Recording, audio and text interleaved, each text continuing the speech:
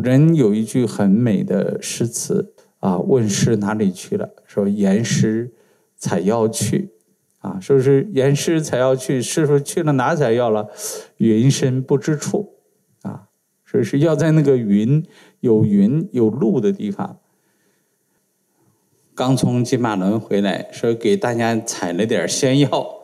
啊，这个金马伦呢，他们这个古茶树啊。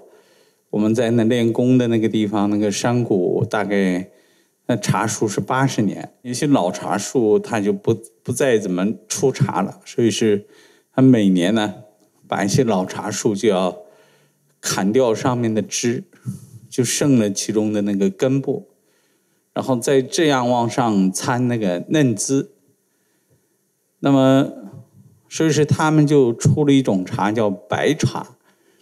这个白茶叫什么呢？叫白蒿银针。白蒿银针是因为它采下来的时候啊，它是嫩黄色的，到时候这个炼成茶的时候，它带着一种白色的蒿毛在上面。啊，那么它这个展开的时候泡起来，它是一个小嫩芽一个小嫩芽那茶呢，除了喝茶，还要把那个芽子吃掉。啊，那么这个它的作用在什么呢？就是嫩你的肝，肝呐，随着我们的年龄的增长，肝部你已经开始不舒展了。这肝部不舒展，那么这个就像外面的这个树木，这个肝属木，这个木要遇到阳光，能够什么？能够枝叶伸展啊。然后才能把地气什么，地里的这个水呀拔上来，通过叶子蒸发而形成气。有了这个气，万气本根，你的五脏六腑才能够重新的激活，或者年轻人保护他的活力。这个就是甘露啊，说是这个天上的甘霖、甘露怎么出来的？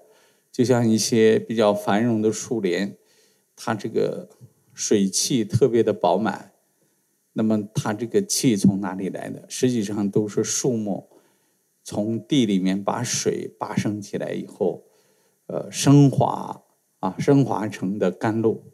这个甘露呢，又在树林中，这个围绕着这个树木，围绕着整个树林，说是又滋润着这些木得以长生。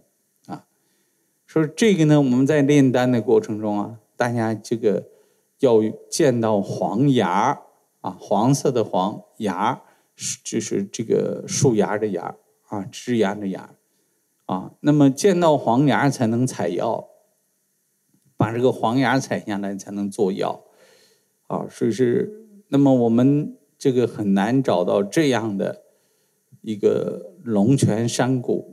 啊，那之前大家去修炼知道，它这个就相当于我们胸膈膜下面到前列腺啊，这个整个这个区间，呃，这个部位的那个谷地，也就是整个金马轮的肝脏、脾胃、胰脏，这个双肾啊，那么这个呃大肠、小肠盘结在那个谷地里的。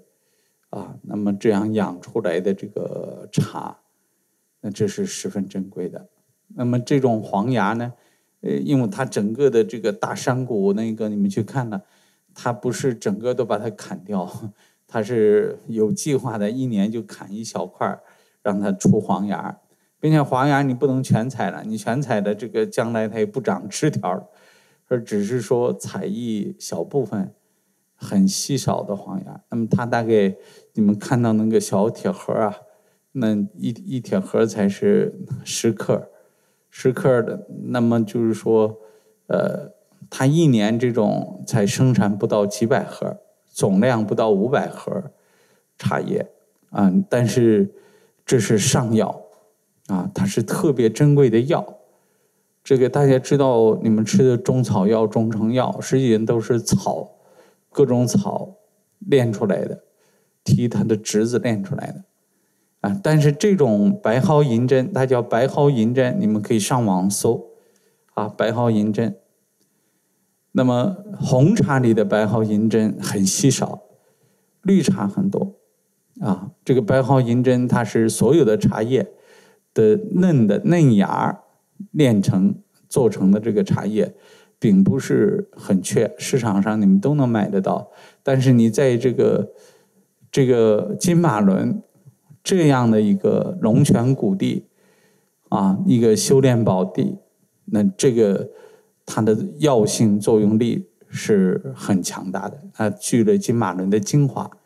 啊，金马仑是又是南龙的这个龙珠所在地啊，这个核心所在地，所以它的价值就很高。